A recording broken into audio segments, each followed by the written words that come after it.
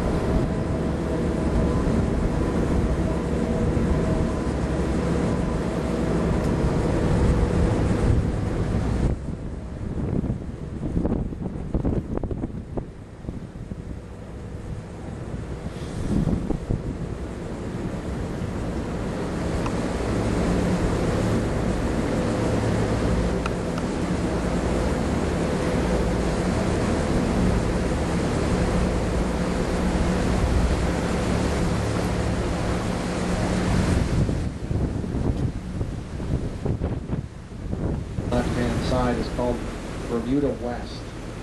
Living in the first building that we're passing, former left fielder for the Red Sox, Carl Yastrzemski, last winner of the American League Triple Crown. The same development, the gallows, parts of the jail, the surrounding cities and towns, from the one that Jerry's mother really lives in, right here in Delray Beach.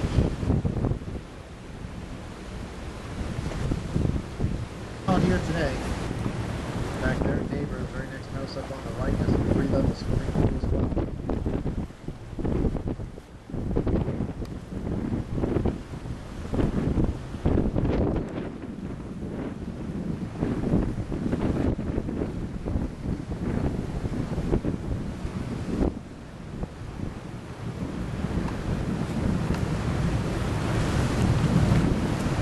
Mentioned the single-level homes, how they call them tear-downs. Well, the ones that are replacing the tear-downs these days are like a couple that we're about to pass over here on the right. These are the new models, if you will.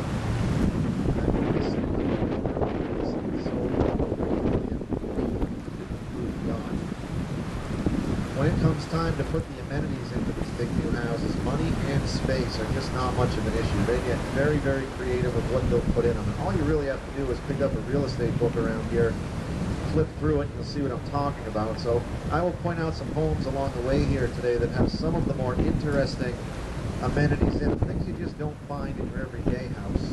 And I'll start with one coming up on the left. First, we have to pass